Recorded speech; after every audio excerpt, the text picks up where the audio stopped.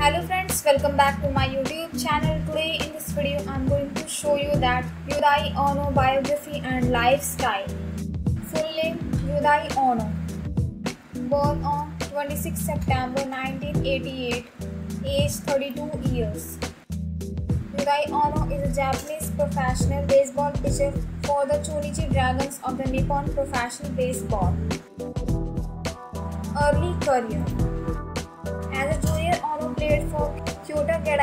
High School where he was part of the school team that faced a young Masahiro Tanaka in the 2005 Summer Koshien. Upon watching the current New York Yankees pitcher play, Ohno was inspired and remarked, So this is the kind of guy that goes pro.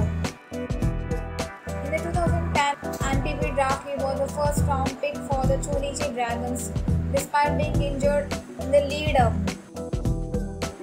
March 2011, he began proper training and made his playing debut in a pro-am match where he considered a grand slam home run. He would also earn a call-up to the preliminary Japanese national squad for the first edition of the 2015 WBSC Premier 12. So friends, I hope you like this video. If you like this video, please hit like the button and subscribe my YouTube channel.